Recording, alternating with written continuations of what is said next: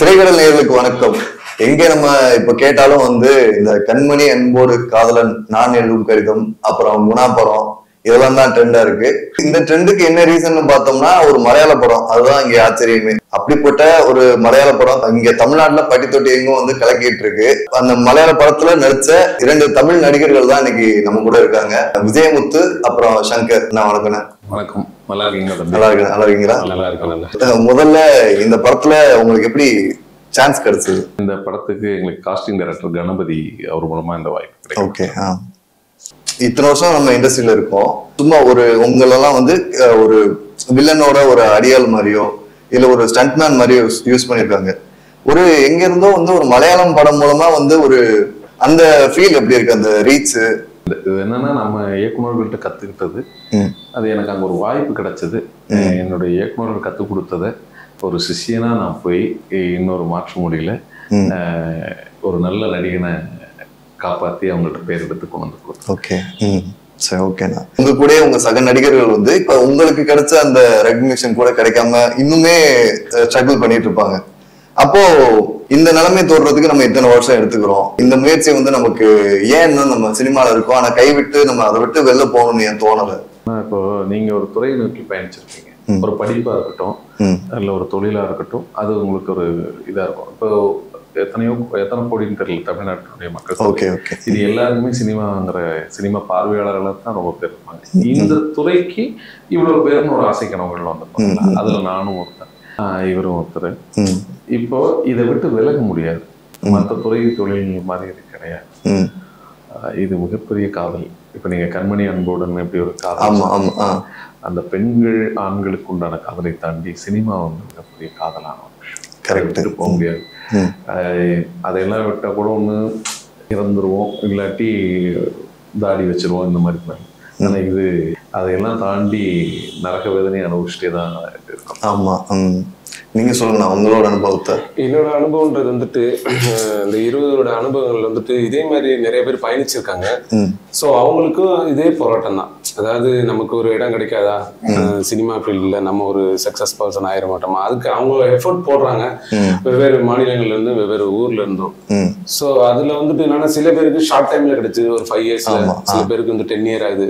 சில பேருக்கு வந்து தேர்ட்டி டூ இயர்ஸ்ன்றது எனக்கே ரொம்ப பிரமிப்பா இருக்கு. ஸோ எனக்கு ஒரு டுவெண்ட்டி இயர்ஸ் வருது ம். ஸோ அவங்களோட முயற்சி அது அவங்களோட டேலண்ட்டை வச்சுட்டு வே ஆஃப் த எந்த இதில் போகணும்னு அவங்க டிசைன் பண்ணணும்.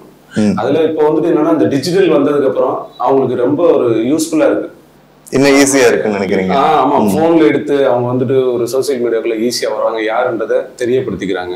அதை கொண்டு போய் இயக்குனர் அப்போ ஆடிஷன் நடக்கிறவங்களை காமிக்கிறப்போ இன்னும் கொஞ்சம் ரீச்சபிள் ஆகுது எங்களுக்கு டிஜிட்டல் எல்லா டைம்ல நாங்க வந்ததுனால எங்களுக்கு கொஞ்சம் டைம் எடுக்கும் கொஞ்சம் டைம் எடுக்குது. ஓகே கொஞ்சம் இல்லை ரொம்ப. டைம் எடுத்துச்சு.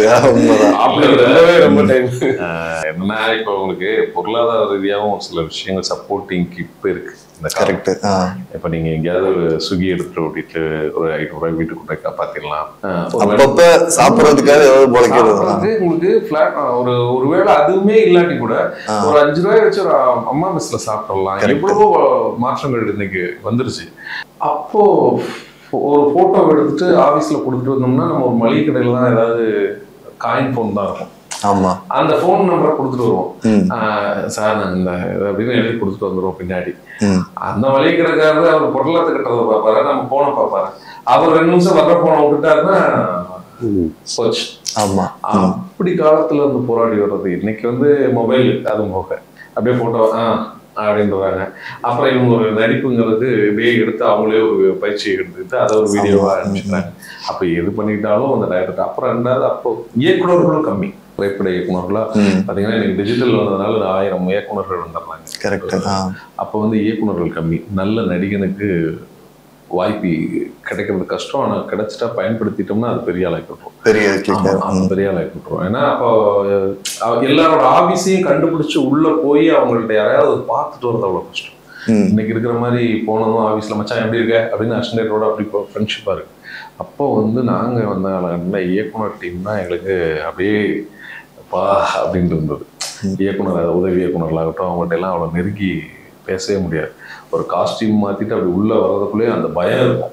இயக்குனர்கள் உதவி இயக்குனர்கள் மேலையெல்லாம் ஓகே. இப்போ எங்க அதெல்லாம் இல்லையே. இப்போல்லாம் வந்து என்ன மச்சான் என்ன ஷாட்டு ஒரு அவன் ஆர்டிஸ்ட் போய் ஒரு நூறு போலாமான்னு கேட்குறாங்க அதெல்லாம் இப்போ பார்க்குறோம் அப்போல்லாம் அந்த மாதிரி இயக்குனர்கள்ட்ட நான் கற்றுக்கிட்டதுனால தான் லாபமானாலும் தரமா வந்திருக்கேன். கரெக்ட் இப்ப நானே வந்து உங்கள்ட்ட பல படத்துல நோட்டீஸ் பண்ணிருக்கேன் நீங்க ஒவ்வொரு இப்ப தாடி வச்சிருந்து அந்த லுக்ல ஒரு மாதிரி இருக்கீங்க. ரெகனைஸ் பண்றதுக்கு லேட் ஆகுது. மகான்ல வந்து அப்படி க்ளீன் ஷேவ் பண்ணிட்டு வருவீங்க. யாரு இவர் அப்படின்னா அப்படி கத்தி பேசணும் வாய்ஸ் கேட்டோட தான் ஞாபகம் வருது. இதுலயுமே உங்களுக்கு வந்து லுக் வேற. அப்படி நரைச்ச மீசையோட யாரா அவரு? அப்படின்னு நீங்க உங்க வாய்ஸ் கேட்டாதான் வந்து ரெகனைஸ் ஆகுது. நானே நோட்டீஸ் பண்ணிருக்கேன் உங்களுக்கு வந்து இன்னும் நல்லா யூஸ் பண்ணலாம் அப்படின்ட்டு நோட்டீஸ் பண்ணிருக்கேன் இப்ப சொல்லுங்கண்ணா இப்ப எல்லா தியேட்டர்லாம் போறீங்களா போய் பாக்குறீங்களா ரிசப்ஷன்லாம் நாங்க சமீபமா கொஞ்சம் ஒரு நாள் டு ரெண்டு நாள் விட்டு இப்படி போறேன் ஏன்னா மீடியாக்களுக்கு வந்துட்டு கொஞ்சம் இன்டர்வியூ இன்னும் போல மக்களோட ஒரு நாள் போய் உட்காரணும்னு இன்னும் நிறைய பேர். கூப்பிடுறாங்க. ஆக்சுவலா ஃபர்ஸ்ட் நாள் வந்து கேரளாவில் பார்த்தேன்.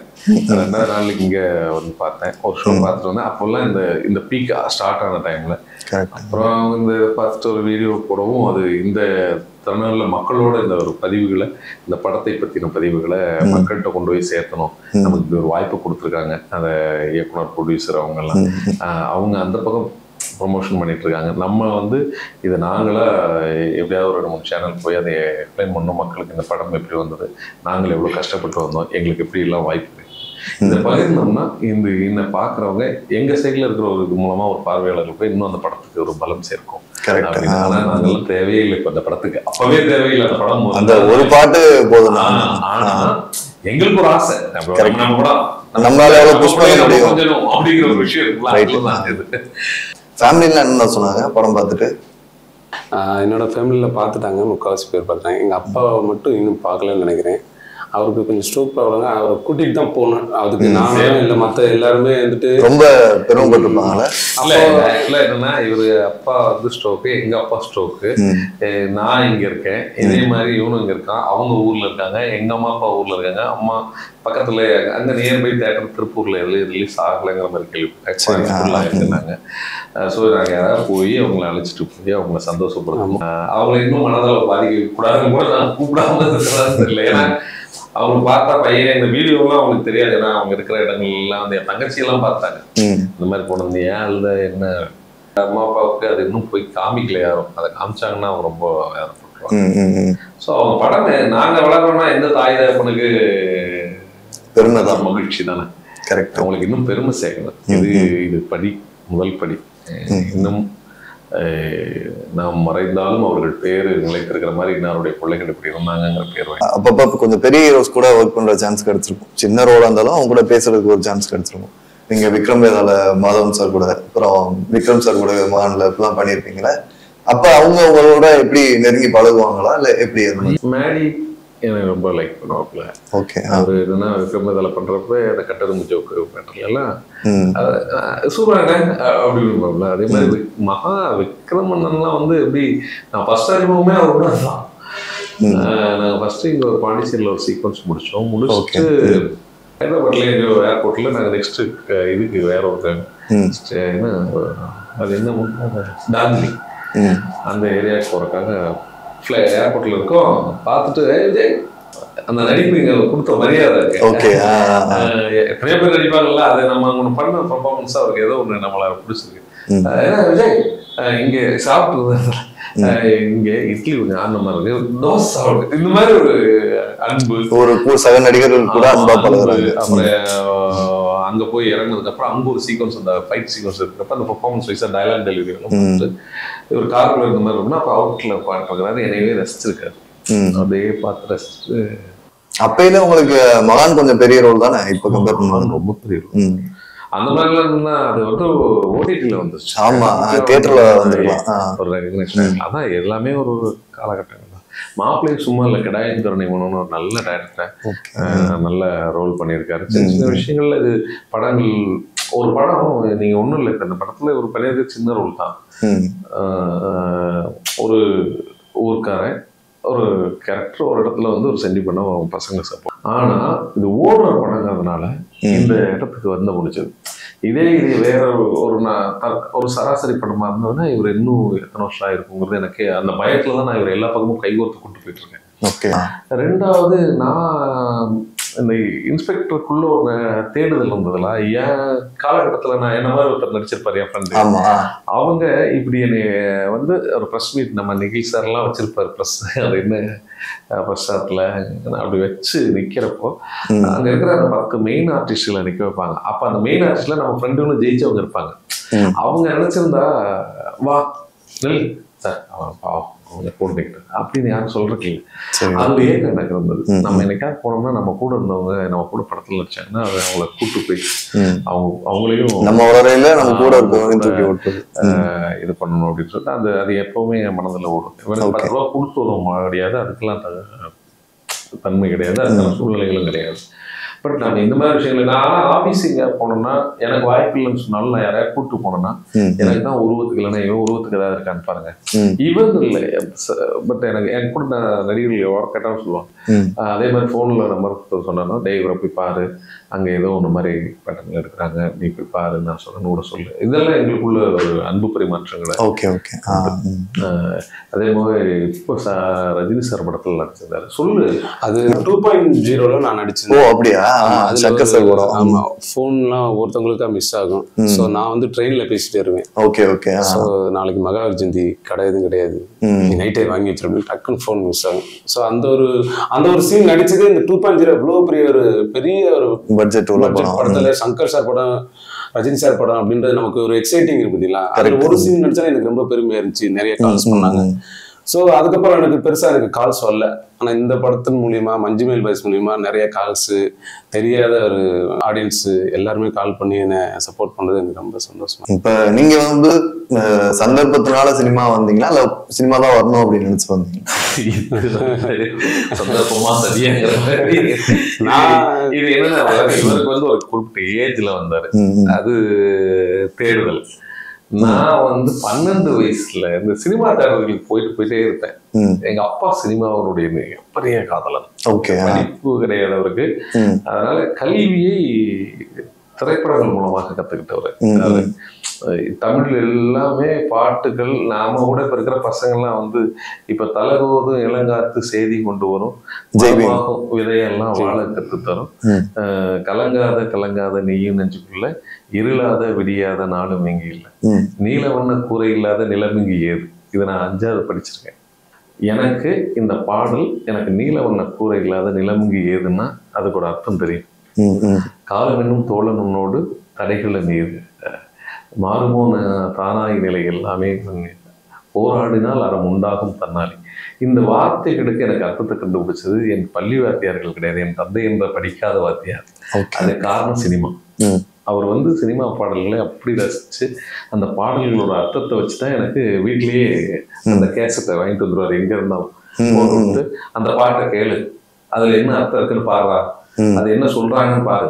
திருடாதே பாப்பா திருடாதே எங்கேயும் போனா திருடக்கூடாது. அதே மாதிரி ஒரு அலுவலகத்துக்குள்ள போனேன்னா ஒரு ஆயிரம் ரூபாய் கிடக்குதுன்னா எடுக்கக்கூடாது.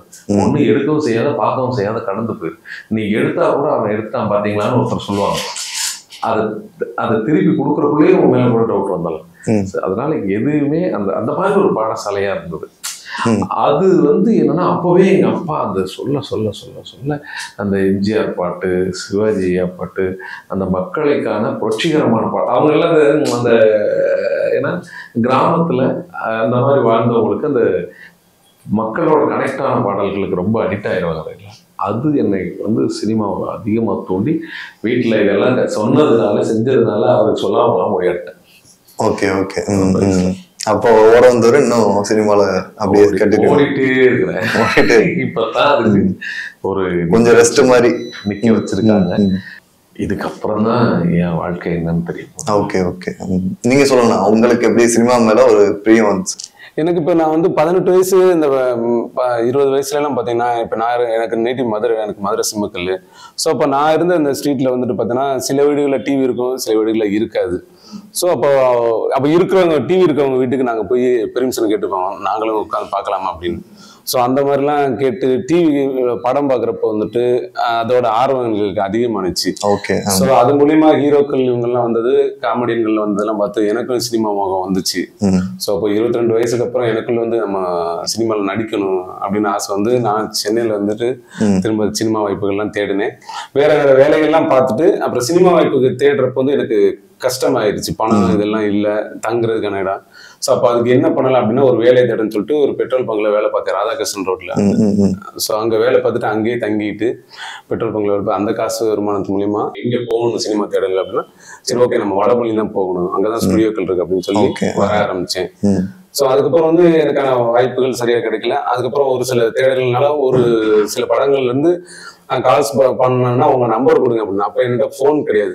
அப்போ நான் பெட்ரோல் பங்க்ல இருக்க நம்பர் அந்த லேண்ட்லைன் தான் கொடுத்துட்டு இருந்தேன். ஓகே ஓகே அந்த அங்க கால் வரும். கால் வந்தா அப்புறம் நான் அவங்க கிட்ட கேட்பேன். லீவு கேட்பேன். இந்த மாதிரி ஷூட்டிங் கூப்பிடுறாங்க அப்படின்னா என்னப்பா நீ வேலை பார்க்கறது தான் வந்த அப்படின்னாங்க. இல்ல சார் நான் சினிமாக்காக தான் வந்தேன். இப்போ சர்வேலுக்காக தான் இங்க வேலை பார்க்குறேன் அப்படின்னு சொல்லி அவங்கள்ட்ட ரிக்வஸ்ட் பண்ணி அவங்களும் மதுரக்காரங்களா இருந்தாங்க. அதனால அந்த மேனேஜர்ஸ் எனக்கு சப்போர்ட் பண்ணி சரி ஓகே சப்போர்ட் பண்ணாங்க. சப்போர்ட் பண்ணாங்க. சரி நீ ட்ரை பண்ணு அப்படின்னு சொல்லி சப்போர்ட் பண்ணாங்க. அப்புறம் திரும்ப இங்க வந்து வாய்ப்புகள் தேடினேன். ம். நண்பர்களுக்கு கொஞ்சம் கொஞ்சமா அறிமுகம் பண்ணாங்க. அதுல இவனும் ஒருத்தன். Okay okay. இன்னைக்கு வரைக்கும் சப்போர்ட்ல இருக்கான். இன்னைக்கு வரைக்கும் எங்களுக்குள்ள எந்த கிளாஸும் இல்ல. சண்டையெல்லாம் வரும். அதெல்லாம் வெளியில போயிட்டாவே ஏதாவது ஒரு வாக்குவாதம் வரும். எது வந்தாலும். அது அடுத்த நாள் மறந்துடும் அது நான் கூட எப்படின்னு தெரியாது அவன் அடுத்த நாளே போன் பண்ணி மாப்பிள்ள எங்க இருக்க? எந்த ஆஃபீஸா அது இருக்கா? அப்படின்னு இது இன்னொரு இன்னொருத்தர் இந்த படத்துல நடிச்சோட அதேதான். விஜய் அப்புறம் அது மாதிரி எல்லாருமே என்னன்னா அன்புகளுக்கு வேற எல்லா இடத்துலயும் விட்டுட்டு இங்கதான் வந்திருக்கோம் இங்க நட்புகள் தான். மஜ்மல் பாய்ஸ் தான். இங்க எல்லாருமே.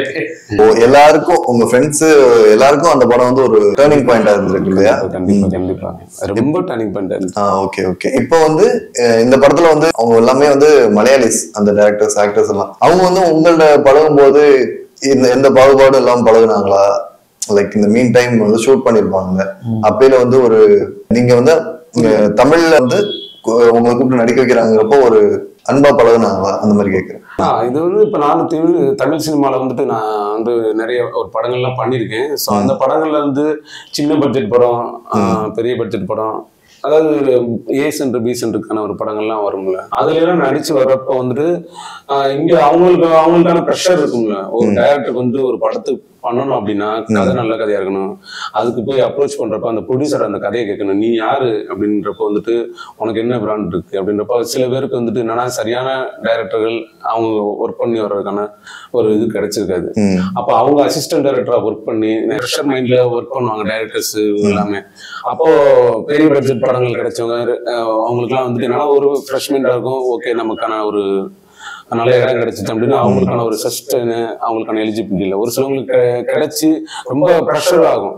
இது பண்ணுங்க அது பண்ணுங்க அப்படின்றப்ப வந்துட்டு அது வந்துட்டு இப்ப மலையாள இண்டஸ்ட்ரியில வந்துட்டு பாத்தீங்கன்னா அவங்களுக்குள்ள ஒரு ஒரு அண்டர்ஸ்டாண்டிங் ஒரு வே ஆஃப் த அப்ரோச்சிங் அவங்க ஸ்டைலு அவங்க கத்துக்கிட்டு வந்து படம் எடுக்கிறதுலாம் வந்துட்டு நம்ம அப்ரோச் பண்றது எல்லாமே வந்து டேலண்ட் தான் ஃபர்ஸ்ட் ஆக்சுவலா வந்து என்ன யாருக்குமே அந்த பாகுபாடு இல்லை. ரொம்ப வரியில சொல்லணும்னா அந்த ஏற்றத்தாழ்வுகள் பாகுபாடு நான் பெரியவன் பெரியவன் மாதிரிலாம் எதுவுமே கிடையாது. யாருக்குமே கேரவன் கிடையாது சொல்ல போனா ம். எல்லாருக்குமே ஒரு ரூம் அந்த மாதிரி இதெல்லாம் இருந்தது. பாஸ் சாருக்கு மட்டும் இருக்கும். ஏன்னா அவருக்கு அந்த மேக்கப்புக்காக வச்சிருந்தாங்க. இல்லாட்டி அவ- அவங்க எல்லாமே உண்மையான நண்பர்கள் சொந்த பந்தம் உறவுகள் தான் அந்த படத்துல. ஓகே எல்லாருக்கும் எல்லாருக்கும் பிளட் ரிலேஷன்ஷிப் இருக்கு. அந்த படத்துல அவங்க டீம்ல எல்லாருக்குமே. ஓகே ஸோ அதனால எங்க கூட எல்லாம் அந்த இதே so super good team Manjummel boys okay okay. இப்ப அவங்க வந்து தொடர்ந்து ஒரு நல்ல ரிசப்ஷன் படத்துக்கு நல்ல பூம் ஆயிட்டு வருது. இப்ப அவங்களே வந்து டீமா கமல் சார் கூப்பிட்டு பாராட்டியிருந்தாங்க. அப்புறம் தனுஷ் சார் மீட் பண்ணாரு டேரக்டர் அப்புறம் இன்னைக்கு விக்ரம் சாரோட போட்டோஸ் வருது. எங்களுக்கு தெரியல. அப்போ உங்களுக்கு இந்த மாதிரி யாரும் பெரிய ஆக்டர்ஸ் நம்ம இண்டஸ்ட்ரியில கூப்பிடலையா? நம்ம இண்டஸ்ட்ரியில யாரும் இது வரைக்கும் படம் பார்த்தோம் அப்படிங்கிற மாதிரி Okay. யாருமே கூப்பிடல. அது அது என்னன்னு எங்களுக்கு அது இவ்வளவு அந்த வீடியோ வைரலா இருக்கு பட் யாராவது கூப்பிட்டு ஒரு வார்த்தை பாராட்டியிருந்தாங்கன்னா நல்லா இருக்கும் ஒரு ஏக்கர் இன்னும் இது வரைக்கும் வரல. வரும் ஓகே அப்படின்னு எனக்கு நம்பிக்கை இருக்கு நான் வரும். தேங்க்யூ அந்த செட்டு தானே அது? செட்டு தான் செட்டு தான். செட்டு தான். ஆஹ் அந்த அந்த இதெல்லாம் வந்து ரொம்ப நேச்சுரலா இருந்துச்சு. அவரு விழுறது அதுக்குள்ள குணக்கேக்குள்ள எப்படி இருக்குங்கிறத காட்டுனது. இதெல்லாம் வந்து ரொம்ப நல்லா ரியலா இருந்துச்சு. இப்போ அதை வந்து நீங்க அங்க அங்கதானே ஷூட் பண்ணிருப்பாங்க உங்களுக்கு? ஒரு ஒரிஜினலா வந்து கொடைக்கானல்ல அங்க குணக்கேவல் எடுத்தீங்களா இல்ல ஒரிஜினலா மேல இருக்கிறது எல்லாமே ஒரிஜினல் ஓகே அது எங்கேயுமே டம்மி கிடையாது. அந்த செட்டு கிடையாது. ஓகே அந்த நாங்க ஒரு சின்ன கபிவேலி மாதிரி இருக்கும் அது சின்னதா இருக்கும் அந்த உள்ள எல்லாம் போய் இறங்குற வரைக்கும் ஒரிஜினலாவே எடுத்துட்டாங்க. அந்த செட்டுங்கிறது ஒரு சின்ன கேட் இருக்கும். அந்த கேட்ல ஒருத்தரா மேல இருந்து அப்படி ஏறி இறங்கி வருவாங்க? அதுல இருந்து தான் செட் அது செட்டு மாதிரியே சொல்ல முடியாது. ஓகே சி அப்போவே உள்ள அவ்வளவு இதா இருக்கும். வந்து லைவ் லொகேஷன்ல எடுத்ததுக்கான ஒரு விஷயங்கள் வந்துட்டு ஏற்கனவே நாங்க சொல்லியிருக்கோம் இருந்தாலும் வந்து அங்கதான் டஃப்பா இருந்துச்சு. இப்போ சில டைம் வந்து டைம் லேட் ஆயிரும் சிக்ஸ் தேர்ட்டி ஆயிரும். அதுல ஒரு மூடை கிரியேட் பண்ணிருப்பாங்க அதுக்கப்புறம் இப்ப டெக்னாலஜி வளர்ந்துட்டனால சிக்ஸ் தேர்ட்டிக்கு அப்புறம் வந்துட்டு அந்த நார்மல் மூட்ல இருக்க மாதிரி இப்ப டெக்னாலஜி வரும்னா அந்த நைட்ல எல்லாம் பாத்தீங்கன்னு அது ஃபுல்லாவே ஃபாரஸ்ட் உங்களுக்கு தெரியும். அந்த குணா கேவ் இருக்க வெளியில இருக்க லொகேஷன் எல்லாமே. அங்க எல்லாம் கேரவன் வண்டில இருந்து மத்த எல்லா வண்டிகளும் நிக்கிறப்ப வந்துட்டு சில டைம் வந்து பயமா இருக்கும். ஸோ லைட்ஸ் ஆஃப் பண்ணிட்டாங்கன்னா அவ்வளவுதான். அந்த இடம் வந்துட்டு நமக்கு பயமா இருக்கும். ஸோ அப்படி இருக்கிற இடத்துலயும் அவங்க வந்துட்டு அவ்வளோ டஃபா அந்த டெக்னீஷியன்ஸ் அவங்க எல்லாமே ஒர்க் பண்ணி சப்போர்ட் பண்ணது ரொம்ப பெரிய விஷயம். டெக்னீஷியன்ஸ் இந்த படத்துல ரொம்ப ரொம்ப இம்பார்ட்டன்ஸ் ஸோ அது ஆர்ட் டிபார்ட்மெண்ட்டாக இருக்கட்டும் எல்லாருமே வந்துட்டு அது டஃப்பாக தான் இருந்துச்சு. அதையும் இது பண்ணி அவங்களுக்கு வந்து டேரக்டர் கொடுத்த அந்த சப்போர்ட்டிங்ல ம். ஓகே இந்த மாதிரி ஏன்னா எல்லாத்தையும் அவங்க வந்து ஸ்டோரி சொல்லியிருப்பாங்களே. கேமராமேன் சார்ட்டையும் அவங்களுக்கு அந்த ஒரு தைரியம் தான் இவ்வளவு தூரம் அந்த ஒர்க் பண்ணி சக்சஸ் பண்றதுக்கான ஒரு விஷயம். அந்த இடம் வந்து ரொம்ப இதா இருந்துச்சு. அதுக்கப்புறம் அங்க கொஞ்சம் பிளான் கரெக்டா பண்ணிட்டாங்க. இந்த செட்டோர்கள் நடந்தது கொச்சின்ல நடந்த இண்டோர் ஸ்டேடியத்தில் நடந்தது அந்த செட்டோருக்கு தான் எங்களுக்கு பிரமிப்பை ஏற்படுத்துச்சு. ஒரு த்ரீ மந்த்ஸ்க்கு அப்புறம் எங்களை கூப்பிட்டாங்க. பிப்ரவரி இப்போ லாஸ்ட் இயர் பிப்ரவரியில் எங்களுக்கு கொடைக்கானல் ஷூட்டிங் முடிஞ்சதுக்கப்புறம் பிரேக் எடுத்தாங்க. ஸோ அதுக்கப்புறம் எங்களுக்கு கால்ஸ் வரல எதுவும் வரலைனும் கண்டினியூட்டி இருக்குன்றப்போ அப்புறம் கொச்சின்ல போய் கூப்பிடுறப்போ அந்த செட்டுக்கு எல்லாம் நாங்கள் தமிழ் ஆக்டர்ஸ்லாம் ஜூன் மாசம் போறப்போ தான் எங்களுக்கு வந்துட்டு இவ்வளோ பெரிய செட்டு போட்டிருக்காங்களா? ஓ இதுக்கு தான் இவ்வளோ டைம் எடுத்திருக்கா? ஓகே அப்பதான் போய் பாக்குறீங்க அப்படிதான் எங்களுக்கு பாக்குறப்ப வந்துட்டு பெரிய பிரமிப்பா இருந்துச்சு. எல்லாருக்குமே. சோ அதை பார்த்து பார்த்து எங்களுக்கு ஒவ்வொரு டைமும் அந்த செட்டு இப்படி பண்ணாங்க இந்த பாறை எங்க எப்படி வச்சிருக்காங்க அப்படின்னு எல்லாத்தையும் எங்களுக்கு ஆச்சரியமாவே இருந்துச்சு. ஒரு பிளான்ஸா இருக்கட்டும் ஒரு பாறையத்துக்கு அந்த மஞ்சள் பேசுன எழுதிருப்பாருங்க பாருங்க. அந்த பாறையா இருக்கட்டும் திரும்ப இந்த சைட்லாம் பெரிய பாறையா இருக்கணும் எல்லாமே. அது போக அந்த புலி ரொம்ப ரொம்ப இம்பார்ட்டன்ஸ் அது தெரியல அது அவங்க எவ்வளவு எந்த விஷயங்கள்லாம் எப்படி கத்துக்கிட்டு அதை இப்படி பண்ணியிருக்காங்க பாருங்க அதுவும் கேரளால கொஞ்சம் சின்ன பட்ஜெட் போட்டு தான் படமும் எடுப்பாங்க. அதுக்குள்ள இவ்வளவு பண்ணது ரொம்ப பெரிய விஷயம். இல்ல படம் பட்ஜெட்டா பெரிய செலவுங்க. அப்படியா? சௌபின் சையர் தானே? அவர் தான் ப்ரொடியூசர் அவர் கூட அவர் த- மலையாளம்ல பெரிய ஆக்டர் அவர் கூட நடிச்ச அனுபவம் பத்தி சொல்லுங்க. திரையை தாண்டி நல்ல அன்பானவர். திரைக்குள் நல்ல ஒரு கற்றுக் கொடுக்குற மாதிரி இதை நான் உணர்வேன் அவர் போன்ற நம்ம நிறைய கத்துக்கலாம். ஆமா. அவங்க இல்ல அங்க அவங்க ஒவ்வொருத்தையுமே ஒரு திறமை இருக்கு. அதுல குறிப்பா பாசி சார்ட்டே ஆகட்டும் சௌபின் ஆகட்டே அண்ணன் அண்ணனே சொல்லலாம். இப்போ இதுக்கு முன்னாடி சார் எல்லாம் இதுல தான் உடைக்கிறேன். அவர் எனக்கு அண்ணன் இப்போ.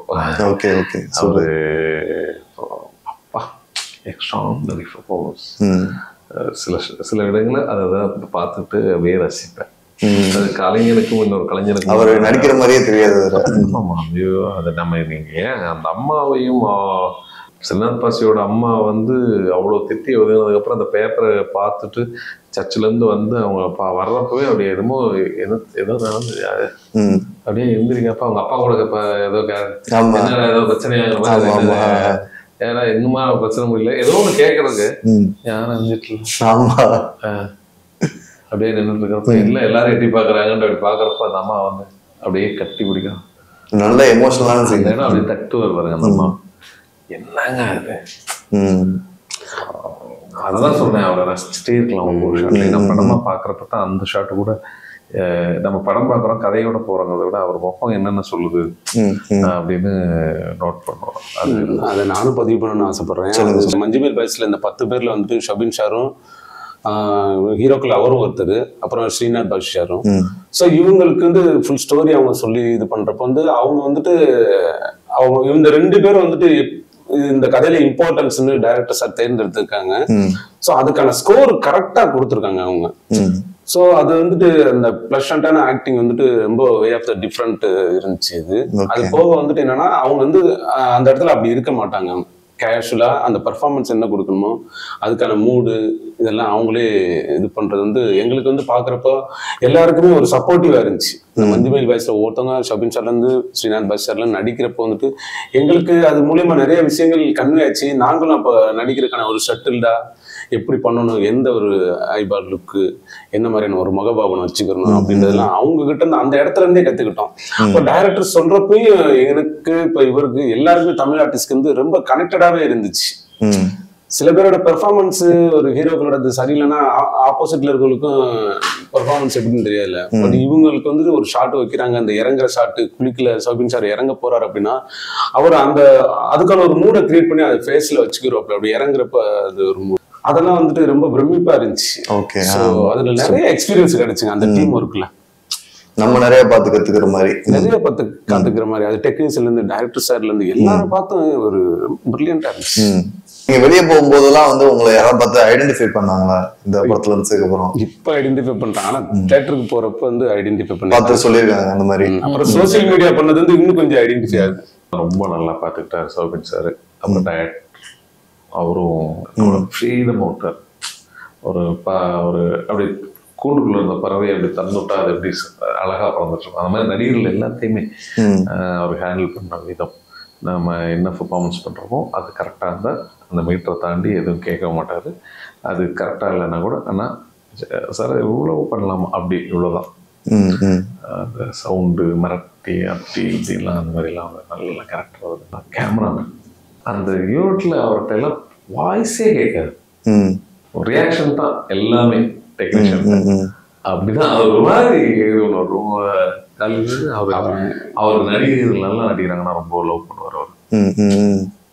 அவர் கேமரா மட்டும் வச்சுட்டு ஏதோ ஒன்று இருக்க மாட்டார் நல்ல நடிகர்களுக்கு அப்படி பார்த்துட்டு அவங்க ரியாக்ஷன்லாம் பார்த்துட்டு அவர் பிடிச்சி நல்ல ஏன்னா அவர் எவ்வளோ பெரிய ஒரு அந்த விஷுவில் எவ்வளோ அழகாக அந்த மலை குகைகளை காமிக்க தெரிஞ்சவர்.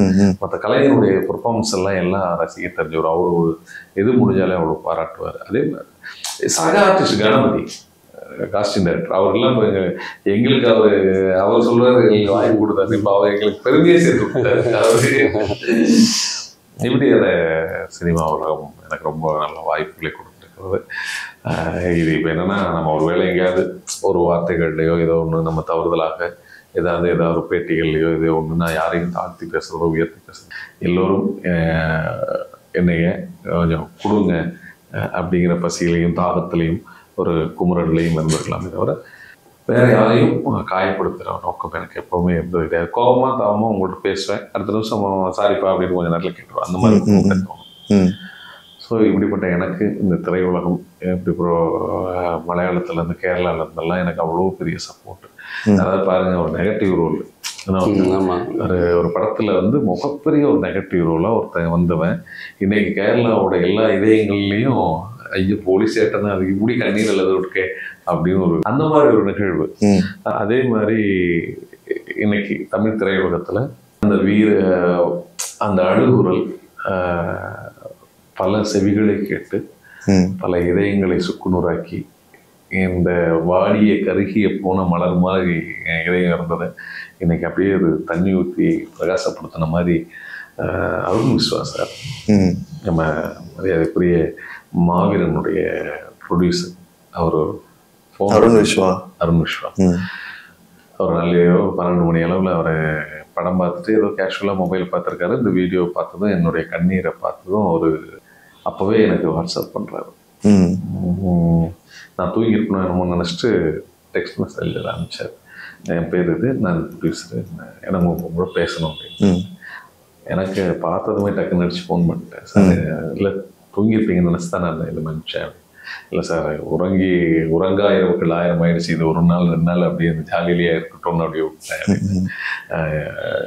எனக்கு ஒரு வீடியோ ரொம்ப பாதிச்சிருச்சு ம். நாங்களாம் இவ்வளோ பேர் இந்த சினிமாவுக்குள்ள இருந்தும். உங்களை ஏன் கவனிக்கல? ஆனால் நீங்கள் நல்ல நடிகர். ஏன் எங்கே அந்த கதாபாத்திர தேர்வுகளில் மாறணும்? வச்சோன்னு எனக்கு ஒரு வருத்தத்தை கொடுத்தது. அதனால உங்களோட நான் கொஞ்ச நேரம் பேசலைன்னா எனக்கு ஒரு மாதிரி இருக்கும் அப்படின்னு சொல்லிட்டு நீங்கள் நாளைக்கு காலையில் என்னோட அலுவலகத்துக்கு வர முடியுமா? போனேன். வார்த்தைகளே இல்லைங்க. அவர் வந்து நாலு இயக்குநர்களை கூப்பிட்டு வந்து அறிமுகப்படுத்தி விடுறாரு இதுல எல்லாமே. பெரிய ம். பெரிய இயக்குனர்கள் ஆமா. ஒன்று மித்ரன் அண்ணன் எட்டு தோட்டாக்கள் கணேஷ் சார். அப்புறம் நம்ம டைரக்டர் அருண்குமார் சார் பண்ணையாரம் பத்து அருண்குமார் சார் சித்தா படம் எடுத்தார் சித்தா படத்தோட டைரக்டர் அப்புறம் இன்னொரு ரெண்டு டைரக்டர் அவங்கள எல்லாம் விட்டு பரம்பொருள்னு ஒரு படத்தோட டைரக்டர். இப்படி எல்லாரையும் வச்சுட்டு சூரியன் சொல்ல போனா ம். அவரும் Actors. ஆக்டர்ஸ் அவருக்கு தானே நீங்க பாலகுமார் அண்ணன் நடிச்சிருக்கீங்க ஆமா ஆமா அவருக்கே இன்னும் அது தெரியலன்னு நினைக்கிறாரு. அந்த போட்டோல வந்து காதுல போன் வச்சுட்டு ஆக்சுவலா வந்து நாங்க ரெண்டு பேரும் பேசுறோம் பழகுறோம். அப்ப கூட நாங்க ஆக்சுவலா வந்து நானு அவரு நம்ம நண்பர் விசித்திரன் ஒரு நடிகர்லாம் இருக்காரு. இவங்க எல்லாருமே ஒன்னா பர்த்டே எல்லாம் அவரோட குழந்தைக்கு கொண்டாடி இருக்கோம். நான் அப்ப கூட நம்ம எல்லாம் இப்படி பழக்கம் இருக்குன்னா அவருக்கு என்ன ரொம்ப காலம் ஆயிடுச்சு நாங்க வருஷத்துக்கு மேல ஆயிடுச்சு இப்படி எல்லாரையும் கூட்டு வச்சு உட்கார வச்சுட்டு அண்ணன் இப்படி ஒரு அழுது இருக்காரு ம். உங்களுடைய படங்கள்ல அவர் வேற ஒரு வாய்ப்பு வாழ்க்கையை மாத்தி விடுங்களேன். அவரு எனக்கு பார்க்கறக்கு அவ்வளோ வருத்தமா இருக்கு அப்படின்னு சொல்லிட்டு சூரியனை பார்க்கலன்னாரு இந்தாங்க இதை போய் பார்த்து வாங்கன்னு அவர் கொடுத்தாரு வீடியோ காமிச்சு அவர் பார்த்து வந்துட்டு என்னண்ணே நாங்களாம் இவ்வளவு பேர் இருக்கோம் நீ என்ன கவலைப்படுறாங்க ம். இந்த ஒற்றை சொல் எவ்வளவு பெரிய ஆனந்தத்தை. அவங்களுக்கு எல்லாருமே நன்றி கடன் இருக்கோம் அவரு சூரியன் பார்த்துருக்காருன்றப்ப வந்து அவரும் அதே மாதிரி தான் கடந்து வந்திருக்காருல்ல ஸோ அதனால வந்துட்டு சப்போர்ட் பண்ணியிருப்பார்ல. அது ஒரு எக்ஸைட்டான ஒரு மூமெண்ட் நிறைய பேர் சொல்லலாம். அவங்க கூட ஜார்ஜ் மரியம் சாருக்கே வந்து கைதி படத்துல ஒரு பிரேக் வருது. அப்புறம் அந்த ராமச்சந்திரன். அவருக்கு அறம் படத்துல ஆக்சுவலா நானு ஜார்ஜ் மரியான் இமான் அண்ணாச்சி எல்லாருமே வந்து நாங்க ஒரே ஒரு இது பண்ணிருக்கோம் சந்தனக்காடுன்னு ஒரு தொடர் பண்ணோம் ஆ ரைட்டு ஆ ஓகே அப்படின்னா எங்களுக்குலாம் ரொம்ப கரெக்ட் உண்டு. அதான் பாருங்க எல்லாரும். சேது விஜய் சேதுபதி பிரதரும் நானும் நீர்னு ஒரு ஷார்ட் ஃபிலிம் பண்ணோம். சூப்பர். அது மாதிரி எங்களுக்குள்ள எல்லாருக்குமே கரெக்ட் உண்டு. எல்லாருக்கும் இந்த காரணம் என்னன்னா அது என்ன பிரச்சனைன்னா எங்களுக்கு எனக்கு வந்து இப்ப என்னன்னா இந்த மெச்சூர்டான ஏஜ்ல வந்திருந்தா ஒரு பக்குவம் தெரிஞ்சாத ஏதாவது ஒன்று பண்ணியிருப்போம். ஓகே. அது ஒரு கொஞ்சம் ஏஜ்ல தான் வருஷங்கள் அப்படி தெரியுது. அதுதான் அங்க கொஞ்சம் மற்ற வழி ஏதோ இறைவனால இன்றைக்கி எல்லாமே அடுத்த மாற்றத்தை கொடுப்பாங்கன்னு ஒரு நம்பிக்கை பெருங்கடும் என்ன ஆழமாக பதிஞ்சிருக்கேன் இதயத்தில். இந்த மாதிரி நல்ல திறமையான நடிகர்கள் வந்து தமிழ் சினிமா தவற விடக்கூடாது அப்படிங்கிறது எல்லாரோட ஆசையும் அதுதான் திரைக்கடலோட ஆசையும். இந்த படத்துக்கு அப்புறம் இவங்களுக்கு வந்து ரொம்ப நிறைய நல்ல சான்ஸ் நல்ல குணச்சித்திர கதாபாத்திரங்கள் நிறைய ஃபுல் ஃபிளஜான நல்ல ரோல்ஸ் கிடைக்கும்னு நாங்கள் நம்புகிறோம் ரொம்ப நன்றி. தேங்க்ஸ் தான் ரொம்ப நன்றி. அஹ் திரைக்கடல் தேடியும் திரவியம் தேடி அப்படின்னு சொல்லுவாங்க. இது கூட பாருங்க படிக்காத நாவல மைண்ட்ல எல்லாத்துலேயும் இந்த மாதிரி எனக்கு இந்த வாய்ப்பு கிடைச்சிருக்கு.